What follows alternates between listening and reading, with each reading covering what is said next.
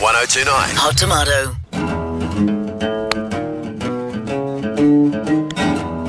What do you think? I honestly go hard at my swing. Oh, well, I mean, I think uh, you suffer a bit of loft, Yeah.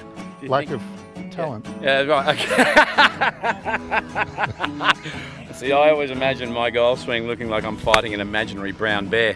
Well, we've got the richest pro am in, in Australian history, which is, I'm absolutely thrilled about. That's the golf day. But the gala dinner is what I'm really looking forward to at the Star on the Friday evening.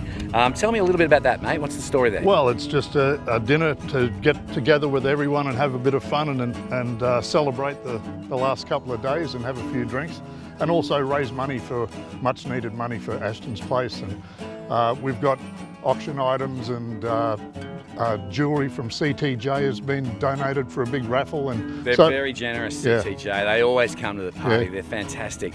Um, Vince Sorrenti's the main act that night. Yeah, Vince Sorrenti's on, and if you haven't seen Vince, you've got to get along and see it. He's, he's brilliant. And a great man, too. I'm not surprised he's put his hand up for this one, mate. So it'll be a fantastic night. There's still some spots available, so anyone wants a table, come and dine with the stars and the celebrities and, and just have a great night. Go to waynegrady.com and you're doing something for a great cause in Ashton's Place. I'm emceeing, and Wayne's told me to go hard, and I plan to. Have a really fun night. We'd love to see you there.